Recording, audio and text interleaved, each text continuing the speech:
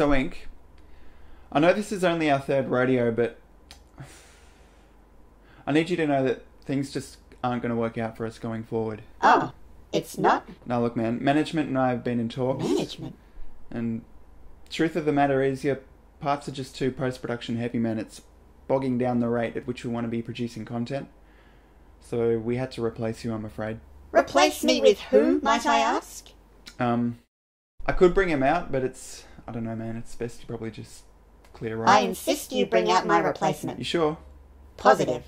Right. Bring in Chap Addy. Oh boy, guys, it's so good to be here. My name's Chap Addy and I love books. My favorite's The Very Hungry Caterpillar.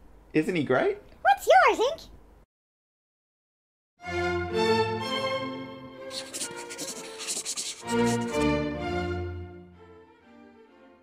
You gonna do it with me this time? Ready? Advantage. Advantage, Advantage Miss Seeton by Hampton, by Hampton Charles. Charles. No, we fucked that up. First published in 1990, Advantage Miss Seeton is the seventh installment in a series of cozy mystery novels starring the retired British art teacher Miss Seeton. We did ourselves a huge favour by starting at number seven. We're at the mercy of random selection, Inc. What can I say, man? When the up and coming female tennis star Patricia Thumper is hounded by letters of death threats, Scotland Yard once again count upon the meddling, brolly wielding Emily D. Seeton to spoil the villain's plans and serve justice. So we have mixed feelings about this one, don't we, Sure do. You begin. Check the tags for spoilers because we will get into those eventually. Well, easily my favourite thing about the book is this Miss Seeton character. Nosy, outspoken, always in the wrong place at the wrong time, and a relatable moral compass that has you cheering her on from the first page.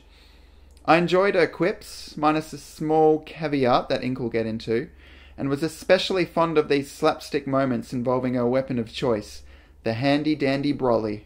Some people have compared her to Agatha Christie's Miss Marple character, who I'm not too familiar with, but if you are, there's an idea of what to expect.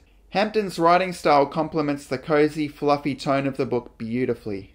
He does bury the reader with pages upon pages of Cockney dialogue and long winding sentences of exposition, but over time I found that this suited the cozy mystery genre and bettered the overall reading experience. The third person omniscient style of writing can be a little jarring, especially in the first few chapters, but serves to benefit the book overall.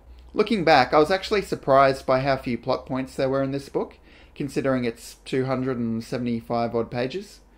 There were really only a handful of scenes that I actually considered essential to telling the story, but I was also fond of the abundance of reactionary scenes.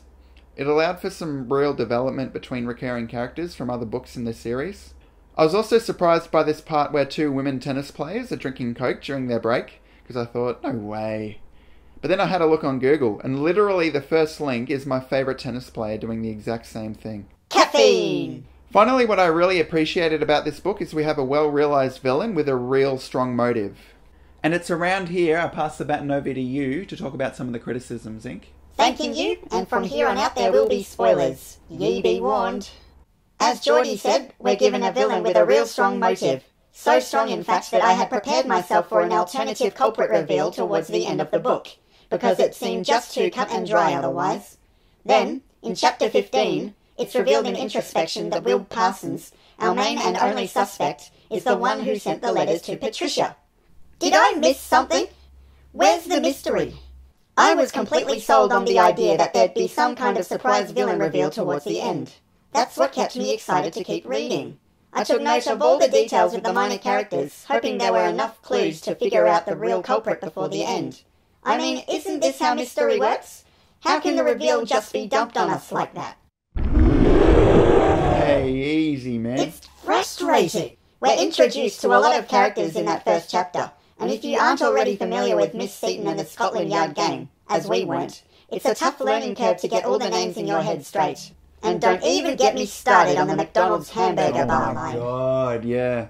They're the blokes who get clobbered by the opposition whenever they sell off some rundown old church to be turned into a McDonald's hamburger bar. Hampton! Who have you ever heard utter the words McDonald's hamburger bar? Just imagine being in the car with a bunch of your mates. You're all hungry, and someone goes, We'll stop by the McDonald's hamburger bar. I believe you get your ass kicked saying something like that, man. The last thing we need to mention here is that there are lines of dialogue, while may have passed by unnoticed in the 90s, some may understandably find a little insensitive today, an example of which is Miss Seeton's use of the word. I mean, I understand there's a method to Miss Seeton's madness, but it just seemed very out of character for the woman we got to know throughout the rest of the story. Then again, we haven't read the other books, so who's to say? And that just about wraps things up. If you're looking for a cozy mystery read with a Miss Marple like heroine, then this might be for you. But I'd probably suggest looking for a higher rated or a more trusted entry in the series because there's kinks in this one that might give you a bad impression of the Miss Seeton series overall. Here, here. Next random book, Jordy.